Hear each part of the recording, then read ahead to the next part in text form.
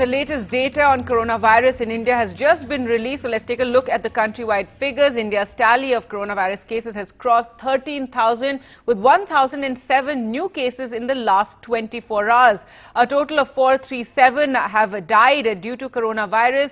But some good news the, that the recovery rate is the highest it's been in three days with the total going up to 1749. Well, let's go across to Arvind for more on this. And Arvind, the, so some good news in terms of of the recovery rate. But yes, again, uh, we've crossed the thousand, uh, you know, mark when it comes to the number of cases being recorded in the last 24 hours.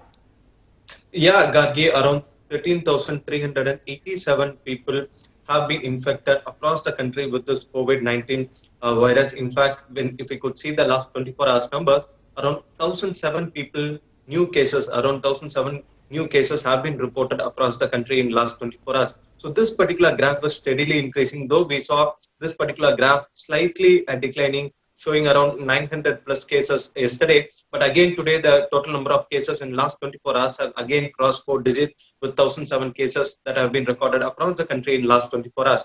So coming to the death figure, like you said, around 437 people have succumbed to this infection, uh, in which uh, it shows that around 23 people have succumbed to this infection in last 24 hours. So this is a bit worrying figure because uh, this particular death, uh, the number of people who have succumbed to this particular infection, that particular graph is also steadily increasing along with the number of positive cases. So one good news today, a very good news today that what we are getting to hear from uh, Ministry of Health and Family Welfare is that the, the people who have recovered that particular figure has actually crossed 1700 and another very good information is another very happy information is that more than 250 people have actually recovered in last 25 in last 24 hours itself. So the recovery rate has again touched the uh, double digit it's around over 13 percentage.